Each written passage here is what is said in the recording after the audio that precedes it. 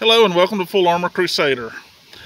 I, uh, if you're accidentally hopping onto this video, stick around. I think you may enjoy it. This isn't going to be your typical YouTube channel. And uh, this video is me trying to explain to you what this channel is, what it's going to be about, and actually just the name behind it and everything. So uh, stick around. Uh, I'll begin with a little bit of background, but first of all, Full Armor Crusader. I'm going to break the name down into two uh, into two parts is how I came about the name. Uh, the first part I'm going to break down, it's going to be full armor. And yes, it comes from Ephesians chapter 6, um, where it talks about having to put on the full armor of God.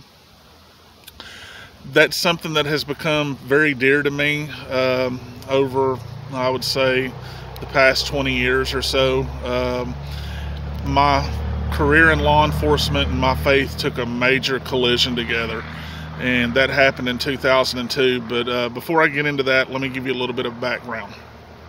I grew up, uh, my grandparents had me in church every Sunday. Typical Baptist church, uh, rural, typical Baptist church. Um, you know, it was pretty somber service, reverent, and everything else. Um, I met my wife. We got married in 1996, and my wife was Assembly of God. So you can kind of imagine uh, uh, Rural Baptist meets Assembly of God. Yeah, it kind of clashed a little bit, and we didn't know where to find a happy medium on that. And so, fast forward, um, we like I said, we got married in '96. I first went through the police academy in '99, and um, in 2002, I was working for a small Texas police department, and um, 2002 was a pretty rough year for my family. Uh, my dad had just got diagnosed with terminal brain cancer. Uh, my wife and I, we were we were struggling financially, trying to raise some kid, you know, two kids at the time, and you know, it was it was a very rough rough time, and we were we were going through some things. Well, the the small police department that I worked at had a warrant officer. He worked two days a week. He worked on Tuesdays and Thursdays.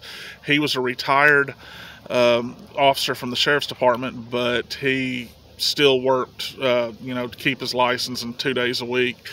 But other than being a law enforcement officer and being, uh, you know, that many years and being retired, his main job was that of a pastor. Uh, he had his own church. He came from Kentucky, but um, he he actually took me under his wing, and I consider him a mentor to this day. But um, so he had a non-denominational church. Being from being Baptist, being raised Baptist, I had never seen anything as far as a charismatic non-denominational church before. So The best that I can tell you is the first time that I went to a non denominational, charismatic, Pentecostal, whatever you want to call it, church scared me to death. I was. I, I was looking for the exits. I did not know what to do but over time like i said this gentleman this pastor he took me under his wing and you know he taught me a lot about my faith he taught me a lot about the uh, how a christian should actually conduct themselves in law enforcement and how you know, he, he showed me a different side to things. And I think that that's uh, where first, um, you know, for what I'll just break it down. Ephesians chapter 6, verse 12 tells us, For we wrestle not with flesh and blood, but principalities, powers, rulers of darkness, and spiritual wickedness in high places. As a Christian law enforcement officer, you have two things that you're going to deal with. You have the, you know, the spiritual side that you're going to deal with, which is uh, Ephesians chapter 6, and then you have flesh. You have spirit and flesh. There was two instances that really taught me um, that actually intrigued my growth. And the first, and I don't know which one came first. I I think the the situation at the church one evening we were at a Wednesday night prayer meeting, and I had the opportunity to see someone truly delivered. And being this in an introductory video, I'm not going to go off into a whole bunch of, you know, different terminologies and what I'm talking about, but let's just say someone was delivered at that service. Scared me to death. As a young, gung ho, you know, gun toting officer, you know, I'm thinking there's certain situations in life that you should be able to to control. Well, I saw a situation that nobody could control. It took many people to control the situation. In fact, I, I, I went back to my um, to my Baptist church that I was raised at, and I talked to the pastor, and I said, "Look, I said, this is what I saw. Is, is this, you know, what is this?" And he told me, he said, Well, I'm going to be honest with you. Said, This is not things that I'm going to preach about on a Sunday morning to a Baptist congregation, but yes, it's out there. Guys, what I'm talking about, I mean, good and evil exist in this world today. I mean, that's that's just the plain and simple truth. Well, uh, probably a little while after that, um, typical day at the police department. Um, this guy got arrested. I wasn't an arresting officer. I was I was not even around when this guy got arrested. But our local grocery store called and told us that hey, we need you to come down here because we have a man that's filling out an application and something's just not right here. Long story short, you go down there. This guy, what we called 1096, mentally ill person, had filled out an application, local grocery store, and under his name, he had put that his name was Jesus Christ. He would not give anybody else his name. He, but he he insisted upon everyone calling him Jesus Christ. Well, I'm not doing it. This other pastor, he was working that day. He's not doing it. We're, we're not going to play this guy's games. Well, long story short, he really hadn't committed a crime, but he's a danger to himself. So I got elected to take this guy to the psych doctor, and uh, ultimately we got him uh, paperwork that we could take him to Rusk State Hospital. Now, if you're from Texas or if you know anything about Texas and mental health, Rusk State Hospital is a very, very spooky, scary place that it's a very old place, but it's for the criminally insane. Now, if you see things on Batman, Arkham Asylum, and Gotham, that's what Rusk State Hospital is in Texas. I mean, you can think of the worst of the worst, and they take them to Rusk. So anyway, this guy was giving us problems all day long. Uh, he just if you if you didn't play the game that he wanted to play and call him the names that he wanted to be called, there was a couple instances that we had to use force. But that being said, I noticed something.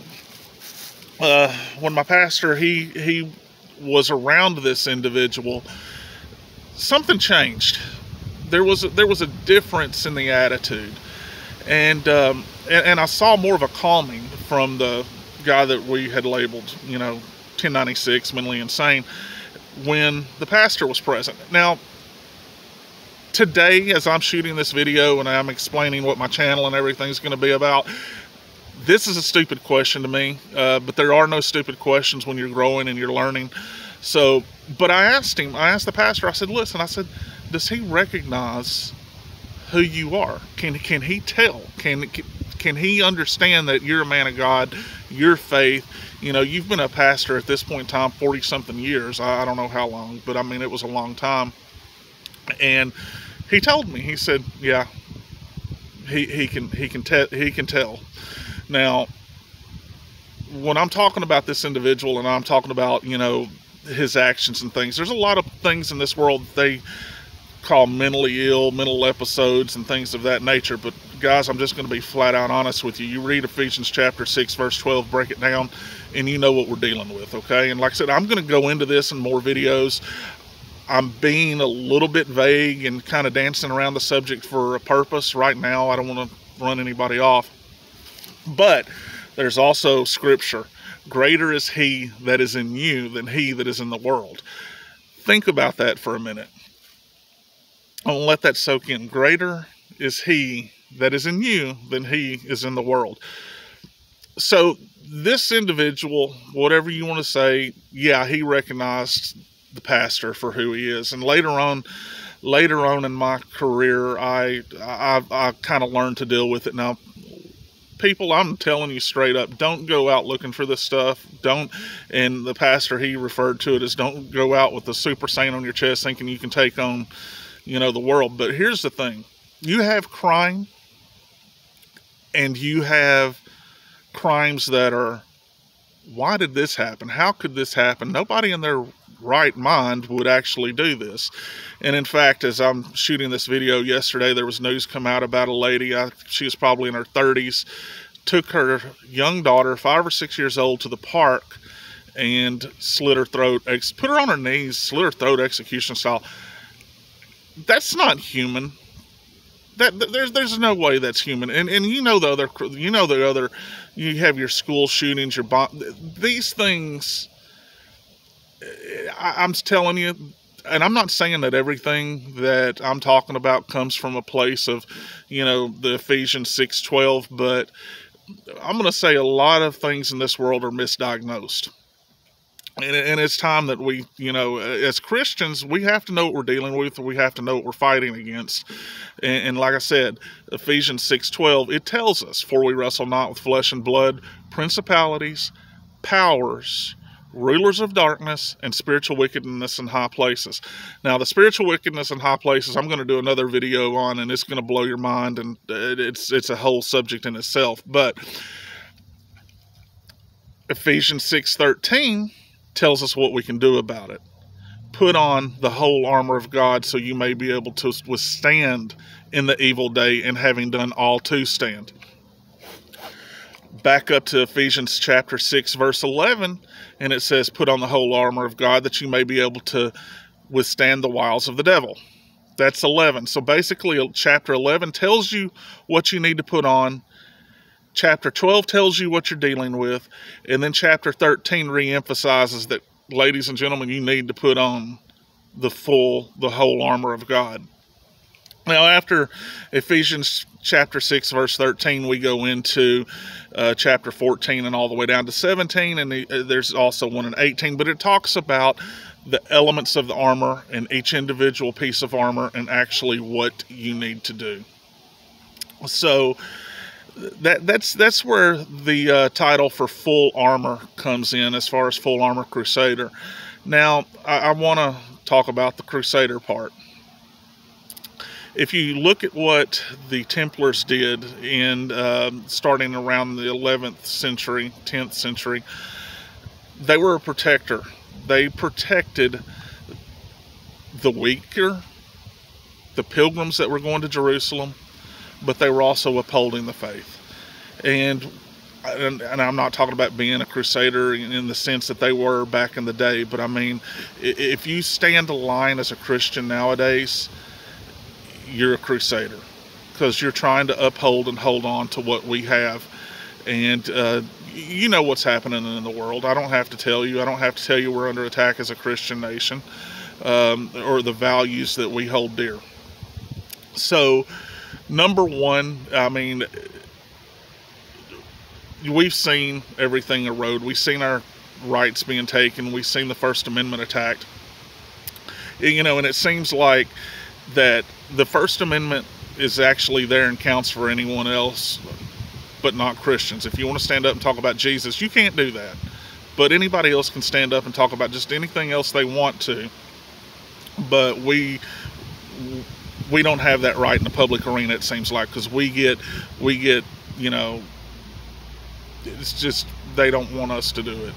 So and it, I don't even have. That's a whole subject for itself, and I'm probably just rambling at this point on this situation. But anyway, so you put on the full armor of God, the whole armor of God, and then you stand for something, and and you try to protect what's you know the morals and morality that we have. So there we have, and we've pushed it together, full armor crusader. Now, as far as what I want this channel to become and what I want it to be, I want to talk about current events. I want to talk about things that's going on. I'm maybe even mix in a little bit of prophecy in the situations that we talk about. But um, I've seen a lot of YouTube videos, and uh, you know, a lot of my wife and I we watch homestead and prepping videos, and you know, talking about how to live off your land and garden. But I see these people get on there and all they want to do is talk about doom and gloom. It seems the fact that they want to wake up in the morning and that's all they do. Every day they get on their YouTube channel and they're talking about, oh, the end is near, the end is near. Well, I don't hear anybody saying the good part about the end is near. The, the fact that we're having these birth pains and the talks about it in Revelations, yeah, the end is near our Savior's coming back soon. But I don't hear them talking about that. I don't hear them preparing everybody for that. So, you know, that's the that's the uh, direction that I kind of want to take my videos. I, I'll do a little bit of that kind of prepping, maybe homesteading, letting you know what we're doing. But I also want to take it in the direction of, hey, our redemption draws nigh. You know, um, come quickly, Lord Jesus. That that's revelations. You know, and the world is a scary place, but we know what's happening and we know who wins. So the other part that I want to talk about too is, and I kind of referenced to this earlier. I, am going to call it um, the 612 files, Ephesians 612 files. I want to take newspaper articles or things out of the headlines and discuss them and kind of break them down. And uh, like this lady from Houston area that takes her child, five or six years old, takes her to the park, and um, in, in the, it, I'll just go ahead and tell you a little bit about it. The the child survives. The child for for was pronounced dead at the hospital, but in the instance, somehow this lady had a moment of clarity and drove her child to the hospital. And I've seen this before. I, have seen this with uh, individuals that I dealt with, and uh, you know, I, I've seen it talked about with this article here that oh they're going to call it a mental episode or they're going to call it this or they're going to call it that. Things like this occur to where people's minds are and i'm going to say it this way released and they come back to their senses. We all we've all heard that kind of story well this lady if she's and, and, i'm not saying this is what happened but in this instance she goes out to the park. She does what she does. The damage is done but then all of a sudden she comes back to her senses. Her mind is released. She's looking at the situation. Oh my what have i done? I've got to get my child to the hospital. There are a lot and, and people don't talk about it. People don't it's not these things are not put into the newspapers. You just have a lot of cut and dry things but it hap- it, it happens more than you think. So that that's the one instance that I was going to kind of bring out but like I said I'll talk about more of that in other videos. I just wanted to give a nutshell of kind of where I wanted to take these uh, channels so far. But stick around. This is going to be a very interesting um, channel and I hope to do a lot of good things with it and hope you enjoy it. So I'm gonna do the old cliche here like subscribe and get notifications and share it. But uh, until next time keep your armor on. Thank you for watching